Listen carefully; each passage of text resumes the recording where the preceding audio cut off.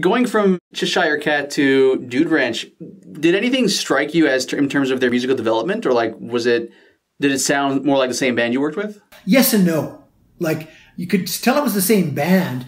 You know, you know where I heard that record probably the most was on the radio. Was not listening to sitting down and listening to the record. You know, I don't think I owned a copy of that record. Which songs do you prefer more? The songs on uh, Cheshire Cat or the songs on Dude Ranch?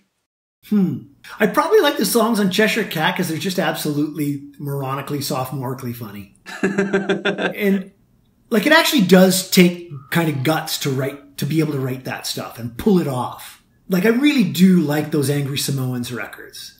And I really do like those Circle Jerks records. They're, that humor, that snide punk humor, like that, Johnny Rotten always had that in his, and in his voice. Like part of that is the, is the sound of punk rock. It's that sneer. It's that, heh, you know, it's that, eh, yeah. you know? And so capturing that attitude, I think it's really important. And sometimes things that are a little raw and a little edgier, you listen back to them later and you kind of go, you know, there's a naivete in it that is endearing and welcoming, you know? And also, you know what? Like when you create a project, there is a personal attachment to it that you just can't get out. Like you end up having a relationship with those people or those creations because of, because you went through that. And so you're always, your opinion's always going to be colored one way or another by having that experience. So going back to Dude Ranch, you said that you don't think you owned a copy, but that you heard it a lot on the radio. Is this correct? Yeah, it would play on the radio every day, so you'd hear it every day. And it was like definitely clear that it was a um, a huge step up, and that they had kind of not only gotten better at their instruments, but they'd also realized that there was still room to hone the sound of the band, like what the what what Blink 182 was. I think overall, you know, it's like when you listen to it for me, it's kind of split that way. You kind of hear the band that you worked with on that record before, but then you sort of hear something else and you hear what could sort of happen after that as, as well. That was mixed by Don Cameron, who also worked at West Beach. And I think that they mixed that one over at Ocean Way. I think Don Cameron was a really good choice to mix that record. And that it's definitely like a and you can tell it was mixed on an SSL. It's just brighter and glossier and squashier, you know, and and, and that really makes a difference. That makes a, a that makes a huge difference. I think those Dude Ranch mixes sound really good, and I think it was a great growth record for Blink One Eighty Two. You know, from from going from from where they had been to where they were going. Like, yeah, they had to make that record. I actually I think I dropped by the sessions. I don't think the band was there. I think Don was just there working, getting a mix worked up. I had to drop off some reels or piece of gear to him or something like that. So I knew that it was going on, but like at this point, I was like so deep in other project. It was like, well, great, have a great day. I'm heading back to do whatever I'm doing up the road, you know? At that point, I was yeah. working seven days a week making records for months at a time. I'd sometimes work, I'd sometimes work two or three months without a day off. You know, it's just that's it. But that's that's how busy we were then, and that's how much business there was then, and that's how many records we were selling then in the '90s. You know, it was a good, it, it was a decent business to be in before everything was turned to dust.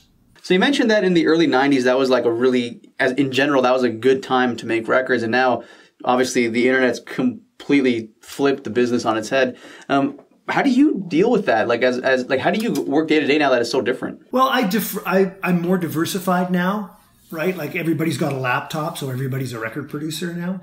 And if you're going to sit around and wait for people to send you records to record or mix, it's just not going to happen these days. Like you've got to hustle and get work where you can. The business that I grew up in is not the business that we have now. It's completely, completely different. I've managed to re- reinvent myself, so I'm still part of it because I love this business and I have this relationship with music that um, is really, really important to me. Yeah, it's just a different. It's like I said, it's just a different model now. You know, you have to kind of adapt to it. Yeah, I mean, it's a different. If if if it's a, it's a different way of trying to monetize it, because yeah. trying to monetize music right now is so hard. The, the the main way you monetize music right now is not spend any money making it. Yeah. that's that's true. I, and and I, I'm telling you this as a label owner. You know, I'm dealing with an artist right now, And, and we're like, oh, well, let's launch this single. What should we do? Oh, we should do X, Y, Z. How are we going to do that? We're going to do it in house. You and I are going to figure it out. And that's cool, right? There's power in that. And, uh, there's self determination in that. And, uh, who's going to support you more than yourself? If you can't get down and believe in yourself and believe you can make something happen, why was it, why is anybody else going to get in line and buy into it? Very, very true point. Very true point. I mean, people can love you and support you, but you have to eventually support yourself. Like, you got to figure out how to do it. At the end of the day, the clock runs out. Well, you, you still got to turn something in, so figure it out. Yeah, the past few years for me is now that really like I've, I've you know begrudgingly accepted that the internet's completely changed the business. I'm trying to figure out okay how do i succeed now in the internet era even though i don't like the internet that much? You, you kind of have to adapt. Oh absolutely. Like listen uh, i have to uh, get onto um, the the three major social platforms every morning for my label see if anybody said anything or played a song or stuff that i've got to retweet you know I probably spend 45 minutes to an hour on social media a day just getting today's message out. But it's part of that platform that you've got to uh, respect if you want to be relevant, uh, not only to yourself as your business, but your artists on your on your label. Right? You have a responsibility to them. Thanks for watching, guys. If you like what you see, make sure to subscribe for more. All the videos on this channel are original. I'm the one conducting all the interviews and editing all the videos together. So if you guys like what you see and you want to support, the best way to do so is honestly just to subscribe. Lots more to come.